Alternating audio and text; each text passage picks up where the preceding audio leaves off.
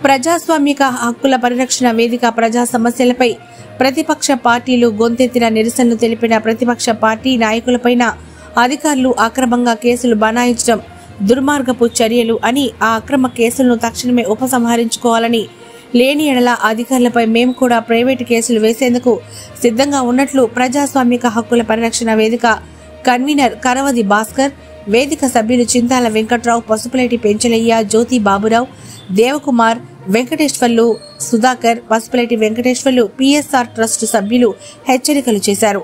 బుధవారం పట్టణంలో నిర్వహించి వారు మాట్లాడారు.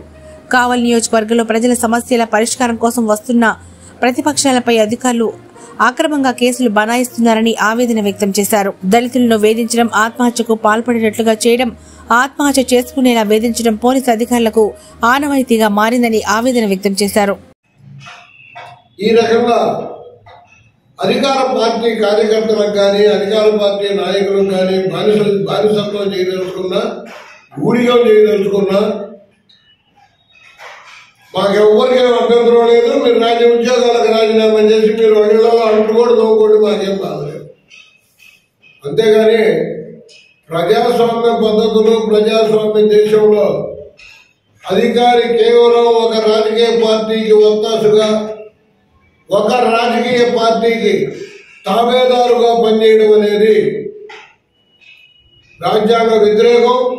ఆ రకంగా చేసిన అధికారులు ఎవ్వరు కూడా మీరు మీ అధికార హోదాలో కొనసాగడానికి అనర్హులు. ఇప్పుడు చిన్న ఉదాహరణ చెప్తున్నా. కావలి మున్సిపాలిటీలో ఎవరు ఏ ఫ్లెక్స్ చేసినా అనుమతి తీసుకోవాల్సిందే. చలనా కట్టాల్సింది అధికార పార్టీ దక్షిణేస్తే దానికి చలనాలు మినహాయిస్తూ పర్మిషన్లు మినహాయిస్తూ జీవోలు ఏమన్నా వచ్చింటే నాకేం తెలీదు. ఆ రకమైన జీవో మున్సిపల్ అధికారులు దగ్గరగా ఉంటే బాగా బహిరంగంగానే ప్రశ్నించవచ్చు ఆ రకంగా అక్రమంగా చట్టానికి వ్యతిరేకంగా మీ నిబంధనలకు వ్యతిరేకంగా వేసిన ఫ్లెక్స్ను కూడా తొలగించడానికి ఇరవై నాలుగు గంటలు దాటిన తర్వాత కూడా ఆ మున్సిపల్ కమిషనర్ గారు తాత్సారం చేస్తుంటే ఇంకొకరు ఇంకొక ఫ్లెక్స్ వేస్తే దాన్ని తీమని అడిగితే వాళ్ళ మీద క్రిమినల్ కేసు పెట్టడం జరిగింది. ఈ పద్ధతి అధికారులు మొదలుకోండి మానుకోకపోతే తగిన మూల్యం చెల్లిస్తారు. ఎందుకంటే లోకాయుక్త చాలా యాక్టివ్గా ఉంది.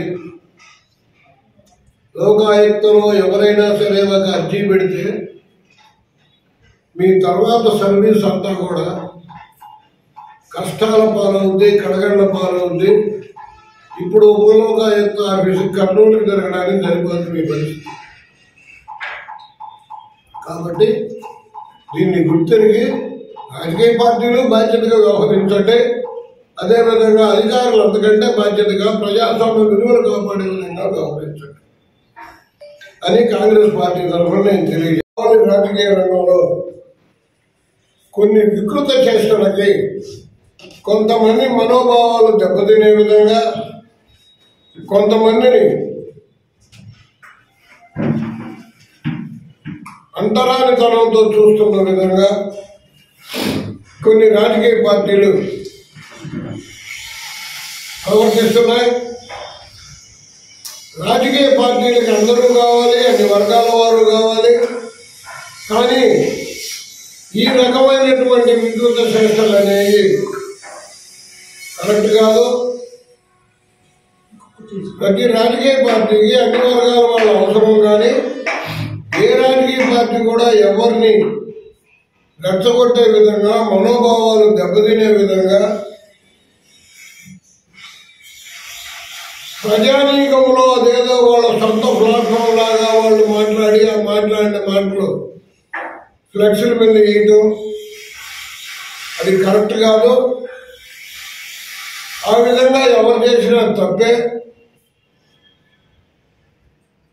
ఇటీవల కావాలలో ఒక రెండు మూడు రోజుల నుంచి ఒక సమస్య నడుగుతుంది. వైసీపీ వాళ్ళు ముందుగా ఒక ఫ్లెక్స్ వేయడం దాని మీద జన జన సైనికులు జనసేన నాయకులు వాళ్ళ మనోభావాలు దెబ్బతినే విధంగా చేయడం. అదేవిధంగా ఒక ట్రస్ట్ కార్యక్రమం మీద వాళ్ళేదో ఏదో వాల్ పోస్టులు అంటించారని దళిత యువకుల్ని. కూలికి పోయిన దళిత యువకులు వాల్ పోస్టులు అంటించడానికి కూలికి పోయిన దళిత యువకుల్ని పోలీస్ స్టేషన్కి పంపి బాధించడం. ఈ అధికార పార్టీకి పోలీసులు మిగిలిన అధికారులు ఒత్తాసు పలకడం నిజంగా దురదృష్టకరం.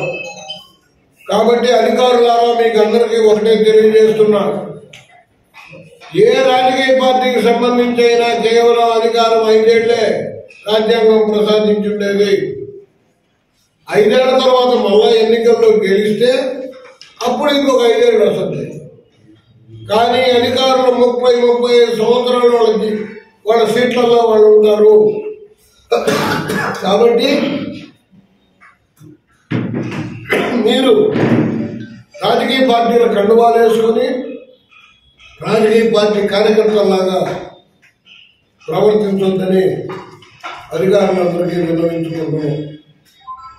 ప్రశాంతంగా ఉండే కావల్ని చాలా దారుణమైన పరిస్థితి తీసుకొచ్చి బెదిరించి భయపెట్టి కేసులు పెట్టి అందరినీ భయప్రాంతాలకు గురి చేసే విధంగా క్రియేట్ చేస్తున్న ఈ వైసీపీ ప్రభుత్వం నిన్న గత మూడు నాలుగు రోజుల నుంచి మీరే చూస్తున్నారు.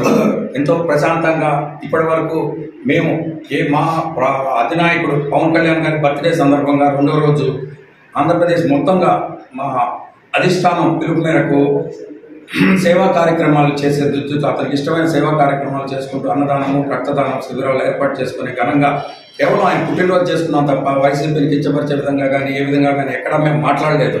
దాన్ని చూసి భయపడు భయం చెందో అదే ప్లేస్లో అదే బ్రిడ్జి సెంటర్లో మా పవన్ కళ్యాణ్ గారిని కించపరిచే విధంగా వాళ్ళ సీఎం మాటి మాటిగా అనే విధంగా ఆ ఫ్లెక్సీని మా మా మనోభావాలు దెబ్బతినే విధంగా ఉన్నాయని ఉండే విధంగా వాళ్ళు ఫ్లెక్సీలు ఏర్పాటు చేయడం జరిగింది.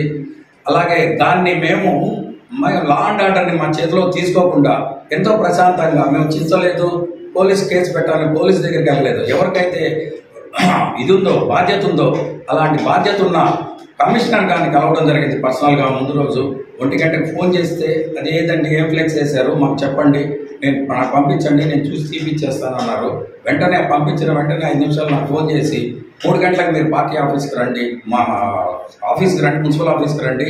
మీతో మాట్లాడాలి. తీపిద్దాన్ని మేము వచ్చి మాట్లాడేది లేదు సార్? లేదు లేదు సార్ రండి సార్ అని చెప్పించారు చాలా మర్యాదగా కూర్చొని మాట్లాడాము మేము కూడా ఏమాత్రం ఇది లేకుండా సార్ మీరు అంతకుముందు నా కమిషన్ చెప్తే వెంటనే తీశారు. అదే ఉద్దేశంతో మీ దగ్గరికి వచ్చాము. మా మనోభావం దెబ్బతీసే విధంగా మా పవన్ కళ్యాణ్ గారిని కించపరిచే విధంగా అంటే ఒక గంటలో తీస్తాను అరగంటలో తీస్తాను అన్నారు. మేము గంట పైన వెయిట్ చేసాం అక్కడికి వచ్చి. అయినా కానీ చల్లం లేదు. ఫోన్ చేస్తే ఫోన్ రెస్పాన్స్ లేదు.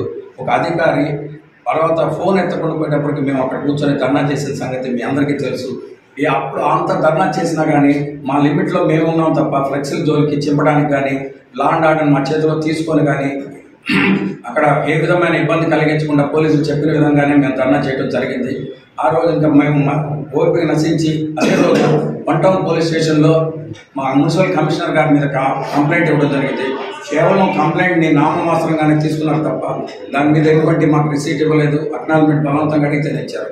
ఆ మరుసటి రోజు పర్సనల్గా వెర్బల్గా చెప్పాము పర్సనల్గా రిక్వజిషన్ ఇవ్వాలనే ఉద్దేశంతో మున్సిపల్ ఆఫీస్కి వెళ్ళి మీ విలేకరులు అందరూ అందరూ కూడా వచ్చారు అక్కడికి. వాళ్ళందరి సమక్షంలోనే మేము రిక్వజిషన్ ఇవ్వడం జరిగింది. ఎందుకు తీయలేదనేసి అడుగుతుంటే ఒక వైసీపీ నాయకుడిలాగా ఆయన మమ్మల్ని క్వశ్చన్ చేస్తూ మీరు కూడా వేసుకోండి మీ ప్రశ్నలు మీరు తీసుకోండి వాళ్ళ ఫ్లెక్సీలు వాళ్ళు తీసుకుంటారు. మీరు కావాలంటే మీ ఫ్లెక్సీలు మీరు వేసుకోండి అన్నట్టు ఒక వైసీపీ కండువా కట్టుకున్న ఒక నాయకుడిలాగా ఒక అధికారిలాగా మాట్లాడకుండా ఒక నాయకులాగా మాట్లాడుతూ రెచ్చగొట్టే విధంగా ఉన్నందువల్ల మేము అతని కారును ఆపేమే తప్ప దాని మీద దౌర్జన్యం చేసినట్టు చేసి మరుసటి రోజు ఫ్లెక్సీలు వేసుకోమంటే కనీసం తెలిసే విధంగా ఉంటుందని ఆయన చెప్పారన్న ఉద్దేశంతో ఫ్లెక్సీలు వేసిన వెంటనే కడుతుండగానే మున్సిపల్ కమిషనర్తో పాటు సీఐతో పాటు అందరు సీఐలు పోలీసులు మొత్తం బెటాలని బెటాలు దిగేసింది. అన్యాయంగా ఉన్న ఫ్లెక్సీని తీయాల్సింది పోయి మా ఫ్లెక్సీ తోలుకొచ్చి మా కట్టేవాడిని దబాయించి గొడవ చేసి అక్కడికి మా ఫ్లెక్సీ పీకేసి మా మీదే ఒక అధికారి ప్రజలకు అండగా ప్రజల సేవ చేయాల్సిన ప్రజల ట్యాక్స్తో ఉండే అధికారి మా మీదే కేసులు పెట్టి పద్దెనిమిది మంది మీద క్రిమినల్ కేసు పెట్టి ఫైల్ చేసి రాత్రి ఒంటి గంట దాకా మేము అదే పోలీస్ స్టేషన్లో ఉండి మేము పెట్టిన కేసుని ఏమాత్రం ఖాతరు చేయకుండా ముందు పెట్టేసి ఆయన కేసుని కన్సిడర్ చేసి మమ్మల్ని అందరినీ మా అందరి మీద కేసు పెట్టారు. తర్వాత మా అడ్వకేటు జిల్లా లీగల్ సెల్ ఉంది లీగల్ సెల్ అడ్వకేట్ నెల్లూరు నుంచి రాజేష్ గారు వచ్చి ముందున్నందువల్ల కొంచెం దాన్ని తక్కువగా చేసి మా బెయిల్ స్టేషన్ బెయిల్ ఇప్పించి ఆయన కూడా ఒంటి గంట వరకు ఇప్పించడం జరిగింది. ముఖ్యంగా చెప్పేది ఏంటంటే మాది ఈరోజు మా ఒక్క ప్రాబ్లమే కాదు ఇక్కడ ఉండే ప్రాబ్లము. మొన్న పసుపులేటి సుధాకర్ గారు పోయినసారి మా జనసేన పార్టీ కావాలిలో కావలిలో ఈ మధ్యకాలంలోనే కాదు ఈ వైఎస్ఆర్సీపీ ఈ రాష్ట్రంలో అధికారంలోకి వచ్చిన దగ్గర నుంచి ప్రతిపక్షాలకు సంబంధించినటువంటి ఏ కార్యక్రమం జరిగేదానికి కూడా లోకల్గా ఉన్నటువంటి ఎమ్మెల్యే రామిరెడ్డి ప్రతాప్ కుమార్ రెడ్డి గారు పోలీస్ వ్యవస్థ ద్వారా అయితేనేమి మిగతా వ్యవస్థల ద్వారా అయితేనేమి జరిగేదానికి ఆయన ఒప్పుకోట్ల. ఆయన మొనోపలి మొత్తం ఏదైనా కానీ వైసీపీ కార్యక్రమాలే ఉండాలి. వైసీపీ ఫ్లెక్స్లు మాత్రమే ఉండాలి. వైసీపీ వాళ్ళు మాత్రమే ఇసుక దోరాలి వైసీపీ వాళ్ళు మాత్రమే గ్రావెల్ దోరాలి వైసీపీ వాళ్ళు మాత్రమే ప్రచారం చేసుకోవాలి. వైసీపీ వాళ్ళు మాత్రమే ర్యాలీ నిర్వహించాలి. ఇంక ఎవరు ఏమి చేయాలన్నా వాళ్ళకి ఎటువంటి పర్మిషన్స్ ఉండవు. ప్రత్యేకించి ఫ్లెక్షన్ విషయంలో అయితే అసలు వాళ్ళకి ఎటువంటి పర్మిషన్ అవసరం లేదు. కాలంలో నాకు తెలిసి ఏదో గుడ్డల షాపులు హాస్పిటల్స్ కూడా తప్ప ఇంకెవరు పర్మిషన్ వాస్తవంగా తీసుకోరు. మూడు రోజులు నాలుగు రోజులు ఐదు రోజులు ఆరు రోజులు కట్టి తీసేసే సాంప్రదాయం కావాలో గత ఈ ఫ్లెక్స్ ఏర్పడినప్పటి నుంచి ఉంది. అయితే వైసీపీ ఫ్లెక్స్ అయితే మటుకు ఒక్కొక్క ఫ్లెక్స్ అది చినిగిపోయినా మరలా దానికే ఫ్లెక్స్ వేసేంత వరకు ఆ ఫ్లెక్స్ అన్నీ అక్కడే ఉంటాయి. మిగతా వాళ్ళు ఎవరు ఫ్లెక్స్ వేసినా రెండో రోజు మూడో రోజు ఖచ్చితంగా వాటిని తొలగించాల్సిందే. నువ్వు గీ పెట్టుకున్నా కానీ రెండో రోజు అయిపోగలే ఒక్క రోజు అయిపోగలే రెండో రోజు మూడో రోజు ఆ ఫ్లెక్స్ ఖచ్చితంగా తొలగిస్తారు. దానికి దగ్గర ఉంది టీపీఓ బాబురావు కావచ్చు లేదా కమిషనర్ కావచ్చు దాని అధికారులు ఎవరైనా కావచ్చు అవసరమైతే దగ్గర నుండి కూడా తీపిస్తారు. అది కావాలో జరుగుతున్న తంతు ఎందుకు? ఇంత why not one seventy five అనే ఈ ప్రభుత్వం ఈ ఎమ్మెల్యే ఎందుకు ఇంత భయపడుతున్నారు? ప్రతిపక్షాలు ఒక ర్యాలీ చేయాలన్నా ఒక ఫ్లెక్స్ కట్టుకోవాలన్నా ఎందుకు ఇంత భయపడుతున్నారు?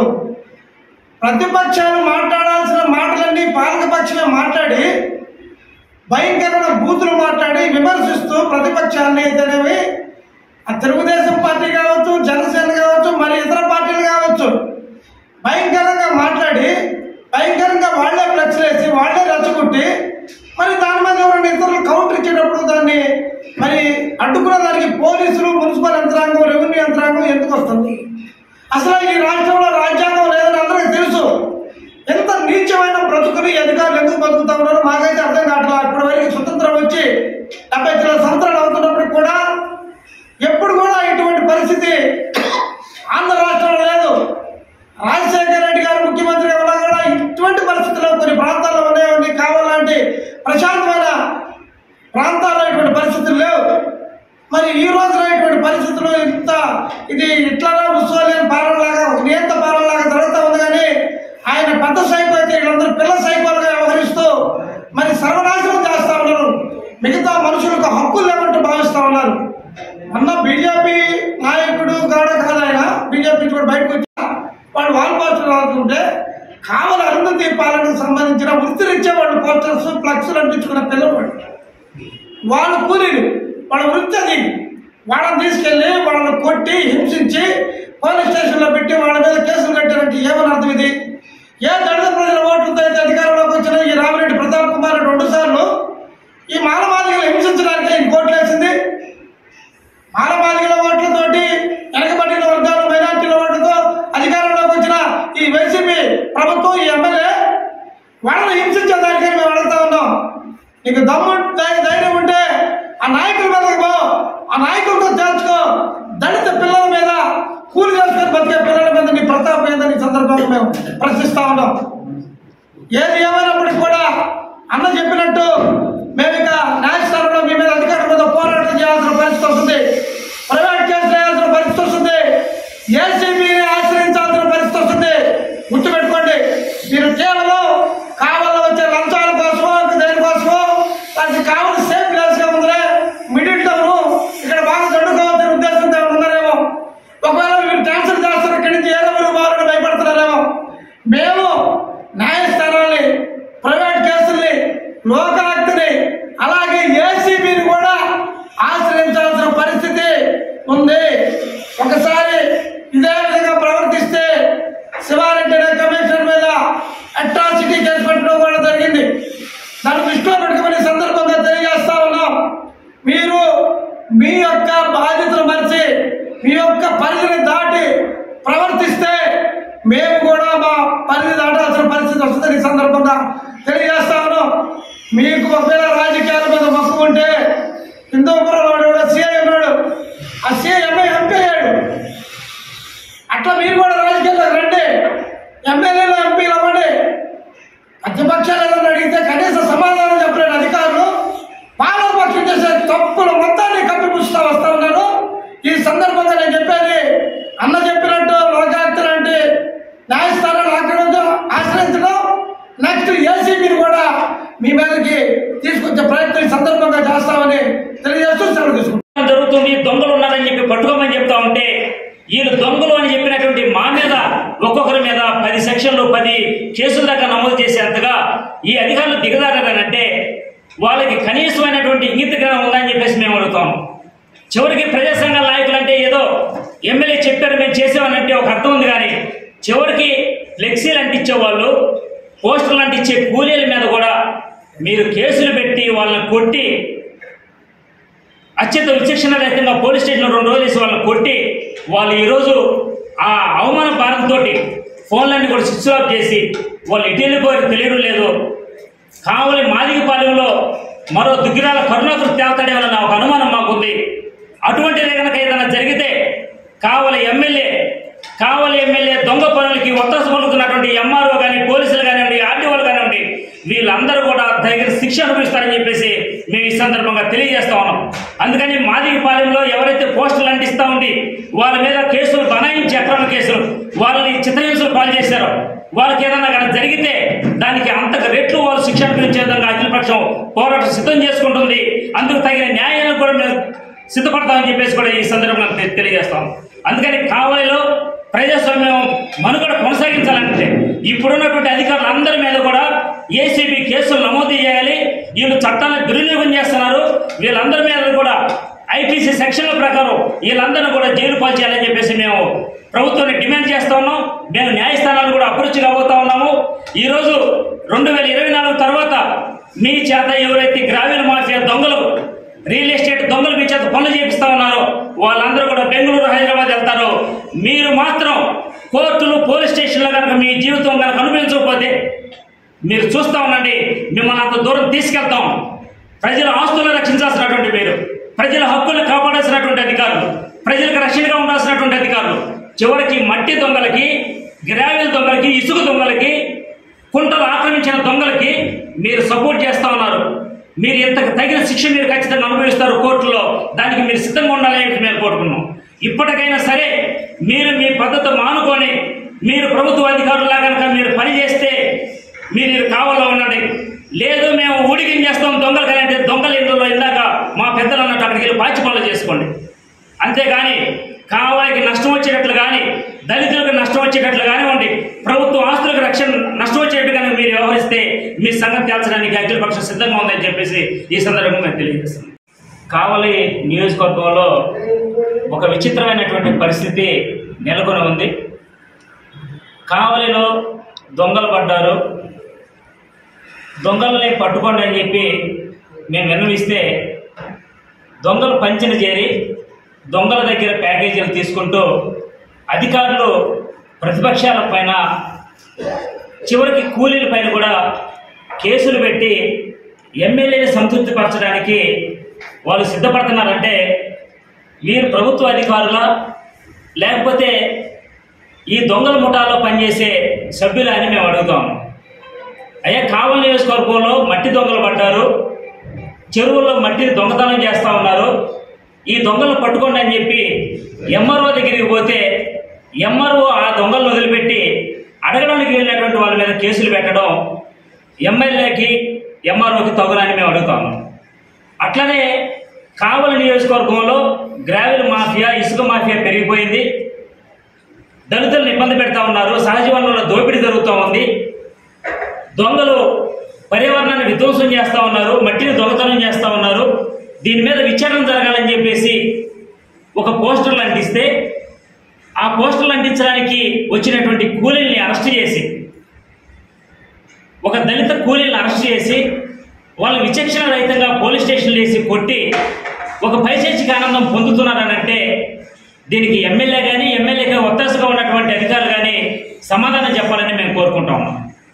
అలానే అయ్యా ఫ్లెక్సీ ఏర్పాటు చేశారు. ఇది విద్వేషాలను రెచ్చగొట్టే విధంగా ఉంది. మా మనోభావాలను దెబ్బతీసే విధంగా ఉంది. ఈ ఫ్లెక్సీ తొలగించండి అంటే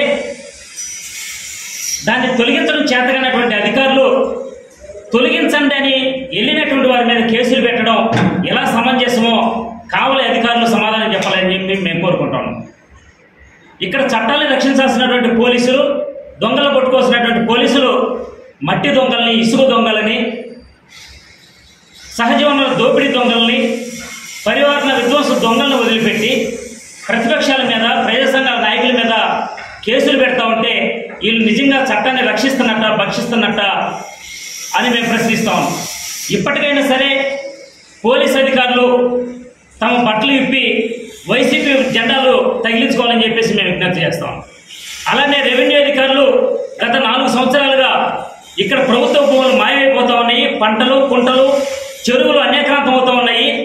దొంగలు వీటిని ఆక్రమిస్తూ ఉన్నారంటే వాళ్ళ మీద కేసులు పెట్టకుండా లేకపోతే వాటిని ప్రతిపక్ష నాయకుల మీద కేసులు పెడతా ఉంటే వీళ్ళు నిజంగా చట్టాలను రక్షిస్తున్నట్ట లేకపోతే చట్టాలను దుర్యోగం చేస్తున్నట్ట అర్థం చేసుకోవాలని చెప్పేసి మేము కోరుతాం ఈరోజు మీ చేత పనులు చేపిస్తున్నటువంటి ఎమ్మెల్యే సహజ వనరుల దోపిడీ దొంగగా ఉన్నాడు పర్యావరణ విధ్వంస దొంగగా ఉన్నారు. వారిని వదిలిపెట్టి అయ్యా కావలను అభివృద్ధి చేయండి కావల్లో సహజ వనరుల దోపిడీ జరుగుతూ ఉంది పర్యావరణ విధ్వంసం జరుగుతూ ఉంది పంట కాలువలన్నీ కూడా ఆక్రమణలకు గురవుతూ ఉన్నాయి. కుంటల ఆక్రమణలకు గురవుతూ ఉన్నాయి. పదిహేడు కుంటల గాను పదిహేడు కుంటలు ఈరోజు ఎమ్మెల్యే తన అనుచరులు ఆక్రమించున్నారు. దాన్ని కాపాడండి అని అంటే ఇరిగేషన్ అధికారులు కనీసం కిమ్మనకుండా ఉన్నారు. చివరికి మా మీదే కేసులు పెట్టేంత విధంగా వాళ్ళు కూడా ధన్యవాదాలు. అలాగే ఇక్కడ చేసినటువంటి అఖిలపక్ష నాయకులందరూ కూడా ధన్యవాదాలు. ఇటీవల నాలుగు రోజుల నుంచి జరిగినటువంటి పరిణామాలంతా అన్నీ కూడా మీకు క్షుణ్ణంగా తెలుసు. మా పిఎస్ఆర్ చారిటబుల్ ట్రస్ట్ అధినేత శ్రీ పసులేటి సుధాకర్ గారు పల్లిపల్లి పసులేటి కార్యక్రమంలో భాగంగా మేము ఉద్దుకోట కార్యక్రమం పోవడం జరిగింది. అక్కడ రైతులందరూ కూడా భయపడి ఆ ప్రోగ్రాం కాడ కూడా దగ్గరకు రాలేదు. వాలంటీర్లు అందరూ కూడా బెదిరించారు. మేము ఎప్పుడైతే ఇక్కడ సమస్యల గురించి అడిగింది అడిగిన తర్వాత కొంతమంది ఇద్దరు ముగ్గురు స్టేజ్ బండి మీదకి వచ్చి అయ్యా మాకు ఈ గ్రావెల్ కనీసం నాలుగున్నర సంవత్సరాల నుంచి ఏకదాటిగా గ్రావెల్ కూకుండా పోతా ఉన్నారు. మా యువత కొంతమంది వంద మంది దాకా అడిగాము లారీలు కూడా ఆపాము. వాళ్ళని కావలి రూరల్ పోలీస్ స్టేషన్లో పెట్టాల్సింది. దగదెత్తి దగదెత్తి పోతే అల్లూరు అల్లూరు పోతే చల్లకి స్టేషన్లో పెట్టి పుట్టారు అందరూ కూడా భయపడి యువత అంతా బెంగళూరు అటు హైదరాబాద్ వెళ్ళిపోయి జీవనం సాగిస్తూ ఉన్నారు. ఈ విధంగా కానీ మీరు ఏదైనా సహాయం చేస్తే మేమందరం ముందుకు ఉంటామంటే సరే చూస్తాము. ఖచ్చితంగా మేము సహాయం చేస్తామని చెప్పి అదే నైట్ మేము వాడికి పోవడం జరిగింది. అక్కడ లారీ ఈ క్రైన్లు అంతా భారీగా ఉన్నాయి. ఆ లారీ తీసుకొచ్చి కూడా వన్ టూ రోజుల్లో అప్పచెప్పడం జరిగింది. దాంట్లో మేము పోయిన ఒక వదిలేశారు. సరే అని చెప్పి మళ్ళీ తెల్లారి పోయి అక్కడంతా విజువల్ చూస్తే కనీసం డెబ్బై అడుగులు డెబ్బై ఐదు అడుగులు లోతుంది. ఇవన్నీ ప్రశ్నించి మామూలుగా ఎవరు అధికారులు ఆర్టీఓ గారి దగ్గర పోతే మాకు సంబంధం లేదు మాకు అసలు మర్యాద కూడా లేకుండా మాట్లాడడం జరిగింది. అందువల్ల పాంప్లెట్లు పోస్టర్ల ద్వారా మేము అతికిచ్చి నైట్ కల్లా అన్ని గ్రామాల్లో ప్రజలకు తెలియాలనే ఉద్దేశంతో అతికిచ్చాము. అతికిస్తే వాళ్ళని ఎస్సీల్ని పని చేసుకునే వాళ్ళని ఈ యొక్క ఐదుగురు తీసుకెళ్ళి వాళ్ళ మోకాళ్ళ మీద ఇక్కడ నిలబడి వాళ్ళు కొట్టి ఏదో పెద్ద దొంగతనం చేసినట్టుగా వ్యక్తి చేసినట్టుగా వాళ్ళు నిలబడి కొట్టి అరికాళ్ళు ఎత్తి వాసిపోయింది రెండు రోజులు రానివ్వలేదు. మా సోదరుడి మీద కూడా కేసు పెట్టారు. ఏమని ఏఈ గారిని మున్సిపల్ ఏఈ గారిని బెదిరించి పక్కకు నెట్టేసి ఆ డివైండర్లకి డివైండర్లకి పాంప్లెట్ కనిపించాలని అక్రమంగా కేసు పెట్టడం జరిగింది. సరే కేసు పెట్టి స్టేషన్ పేరించారు వచ్చేసి ఆ పిల్లల మటుకు దారుణంగా కొట్టారు అది కరెక్ట్ కాదు. మా మా రాజు సామంత రాజులంతా పోయారు. నీవు శాశ్వతం కాదు. గెలిచిన తర్వాత ప్రతి ఒక్క నాయకుడు ఓటు సపరేట్గా రేపు ఓటు వేయడు. మేము కూడా వేస్తాం. నువ్వు ప్రజలకి అన్ని పార్టీలకు సమానంగా పని అయితే చేస్తే ప్రతి ఒక్కరూ మీకు చేస్తారు. నువ్వు గెలిచేంత వరకే రాజకీయ నాయకుడు గెలిచిన తర్వాత అందరికీ పనిచేయాలి ఆ విధంగా పనిచేయమని మరీ దారుణంగా ఒకటిగా దగ్గర దగ్గదరికి అల్లూరు గోగోలు ఏ ఏ పంచాయతీలో పెట్టినా మీరు రోడ్లు వేస్తున్నాము ఇల్లు కడుతున్నాము అంటారు. ఇల్లు కట్టినానికి రోడ్లు వేసిన దానికి మొత్తం లెక్కది ఏ మండలం లెక్క తవ్వారు? మొత్తం లెక్క తీసుకొని మేము కానీ కరెక్ట్గా కట్ చేస్తుంటే మీరు దేనికైనా మేము సిద్ధం సిద్ధంగా ఉంటాం. నువ్వు అంతగా డబల్ త్రిబుల్ సంపాదించేసి వేల కోట్లు సంపాదించేసి ప్రజలు భయభ్రాంతకు గురి చేసేసి ఈ విధంగా చేయడం పద్ధతి కాదు. పద్ధతి మార్చుకోవాలి. ఇంద్రించాలని నాలుగు నెలలే నీ పా- నీ భాగవతం అంతా ఉండేది కూడా. నీ నాయకులందరూ కూడా నాలుగు నెలలు నాలుగు నెలల తర్వాత అందరూ కూడా మా పరిస్థితి అవుతుంది మీకు కూడా రేపు. అందుకని జాగ్రత్తగా ఇంటి నుంచి మలుసుకోమని తెలియజేస్తాం అధికార పార్టీ ప్రభుత్వం అధికార పార్టీ చేసే తప్పుల్ని ప్రశ్నిస్తే కేసులు పెట్టడం అనేది మంచి పద్ధతి కాదు. దీన్ని సిపిఎం పార్టీగా తీవ్రంగా ఖండిస్తూ ఉన్నాం. ప్రజాస్వామ్యంలో ప్రతి ఒక్కరికి మాట్లాడుతుంది స్వేచ్ఛ ఉంది. ఇది రాజ్యాంగం కల్పించినటువంటి హక్కు. దీని ఎవరో కాదనేదానికి కూడా లేదు. తప్పు చేస్తే ప్రజాప్రతినిధులు ప్రభుత్వం గురించి ప్రతిపక్ష పార్టీలు విమర్శ చేస్తే అక్రమ కేసులు పెట్టించడం ఇది అధికార పార్టీ వాళ్ళకి సరైనటువంటి పద్ధతి కాదు. ఇలాంటి ఆలోచనలు విరమించుకోవాలా? పోలీసు అధికారులు కూడా న్యాయ న్యాయాలు పరిశీలించేదానికి పోలీస్ స్టేషన్ రక్షణ న్యాయాలు అనేది న్యాయ తప్పుని రైట్ని రెండు కూడా పరిశీలించాలి. మరి అధికార పార్టీ ఎటుంటే అటు పోయి అక్రమ కేసులు పెట్టడం అనేది ఇది సరైనటువంటి పద్ధతి కాదు. ఎవరైనా ప్రశ్నిస్తారు అధికార పార్టీ దోపిడీ చేస్తూ ఉంది ప్రశ్నిస్తే భయభ్రాంతులు చేస్తూ ఉంది లాఠీ దెబ్బలు కొట్టిస్తూ ఉంది ప్రశ్నించిన కనీసం కూలోళ్ళ మీద కూడా కేసులు పెట్టేటువంటి సంస్కృతి ఇది ఈ ప్రభుత్వానికి ఈ ప్రజాప్రతినిధులకి ఈ పోలీసులకు కూడా సరైనటువంటి విధానం ఎవరో ఒక కూలికి వచ్చేవాడు కడుపు చేత పట్టుకొని పని చెప్తే పనికి వస్తాడు. పనికి మీద వాడు ఎస్సీలా ఎస్టీలా బీసీలా అన్ని కులాల పేదవాళ్ళు వాళ్ళ మీద పోలీసులు కేసులు కట్టడం మరి అధికార పార్టీ చెప్పినటువంటి దాన్ని దుస్తకుండా పోలీసులు ఇతర అధికారులు కూడా అది అమలు చేయడం అనేది ఇది కరెక్ట్ అయినటువంటి పద్ధతి కాదు. నేను ఇప్పటికైనా పోలీసు అధికారులు విరమించుకోవాలా? అక్రమ కేసులు కట్టేది? మన ప్రజాప్రతినిధులకు ఉన్నటువంటి అధికార పార్టీ వాళ్ళు వల్ల ఇవన్నీ కూడా అఖిలపక్షంగా తీవ్రంగా సిపిఎం పార్టీ ఖండిస్తా ఉన్నాం. మీ ఆగడాలు మీరు కానీ ఇక్కడ ఇట్లాగే కానీ అక్రమ కేసులు కానీ కడితే తీవ్రమైనటువంటి పోరాటాన్ని ప్రజా పోరాటాన్ని ఎదుర్కోవాల్సి వస్తుంది. అధికారులు ప్రజాప్రతినిధులు అని చెప్పేసి సందర్భంగా సిపిఎం పార్టీకి హెచ్చరిస్తా. ఉన్నాం కావలి అభివృద్ధి పనులు నివసిస్తున్న కొంతమంది యువకులు పోస్టర్ అందించడానికి పనికెళ్తే వాళ్ళ మీద కేసులు కట్టి వాళ్ళని శిక్షణారహితంగా కొట్టి వాళ్ళని భయపాంతో గురి చేసి ఎమ్మెల్యే గారి కొద్బలంతో ఇదంతా జరిగిందని తెలియజేస్తా ఉన్నాం. మళ్ళీ ఈరోజు రోజు నిన్న ప్రెస్లో మాట్లాడాడని చెప్పి మళ్ళీ వాళ్ళు ఇంటి చుట్టూ- ఇంటి చుట్టూ పోలీసులు తిరుగుతా ఉంది ఈరోజు మేము ఒకటే తెలియజేస్తా ఉన్నాం. ఎమ్మెల్యే గారు మాదిగా జోలికొస్తే రేపు ఎలక్షన్లో కావలి నియోజకవర్గంలో ఏ మాదిపల్లిలో పోయినా నీకు దండోర వేసి మరి బయటికి పంపిస్తాను నిన్ను. నువ్వు మాదిగల జోలికొస్తే మాదిగల సత్తా ఏందో చూపిస్తాం. మాది రిజర్వేషన్ పోరాట సమితి ఈరోజు పుట్టింది కాదు గత ఇరవై ఏడు సంవత్సరాల నుంచి ఉద్యమం చేస్తూ ఉన్నాం. మీరు మాదిగలతో పెట్టుకుంటే మీకు ఏ గతి పడుతుందో త్వరలో తెలియజేస్తామని చెప్పి మేము ఒకటే చెప్తాం అధికారులకి మీ మీద ప్రైవేట్ కేసులు వేస్తాం. మీ మీద అట్రాసిటీ కేసులు పెడతాం. మీ మీ ఎమ్మెల్యే దగ్గర జేసీబీ ఉంటే మా దగ్గర ఏసీబీ ఉంది. ఏసీబీ కూడా కంప్లైంట్ చేస్తాం మీ మీద. మాదిగా యువకుల జోలికి వస్తే ఎమ్మెల్యే గారికి తెలియజేస్తా ఉన్నాం.